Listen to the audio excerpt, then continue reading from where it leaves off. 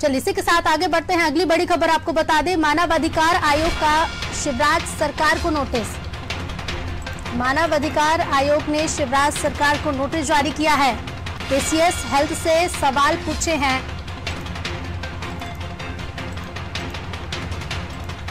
Corona की अगर तीसरी लहर आई तो उससे निपटने के लिए क्या तैयारी है?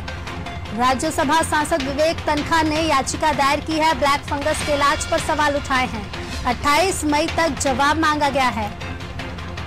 मानव अधिकार आयोग ने शिवराज सरकार को नोटिस जारी किया है।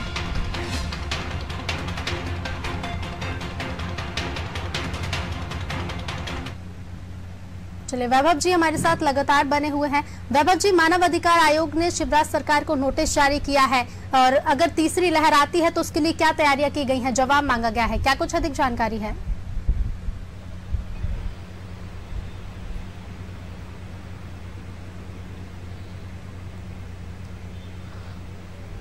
राज्यसभा सांसद विवेक तनखा ने इस संबंध में सरकार से जवाब मांगा था, लेकिन सरकार ने चूँकि जवाब नहीं दिया तो इस संबंध में एक याचिका दायर की गई राज्यसभा सांसद विवेक तनखा के द्वारा। उसके बाद मानवाधिकार आयोग ने संज्ञान लिया है और सरकार से जवाब मांगा है।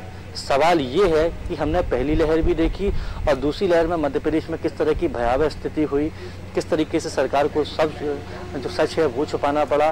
तो ऐसे में सरकार ने चूँकि विशेषज्ञ कह चुके हैं कि कोरोना की तीसरी लहर भी आएगी जिसका सीधा इफ़ेक्ट बच्चों पर पड़ेगा तो सरकार के द्वारा कोरोना की तीसरी लहर से निपटने की क्या तैयारियाँ की गई हैं इस संबंध में मानवाधिकार आयोग के द्वारा ये पूरा मामला संज्ञान में लिया एक रिपोर्ट भी मांगी गई है सरकार से कि सरकार बताए कि तीसरी लहर से निपटने के लिए मुख्यमंत्री Shivraj Singh Chouhan A C S health Mohammad Suleman के द्वारा क्या तैयारी की गई, उसका विस्तृत ब्यौरा इसकी जानकारी दी जाए।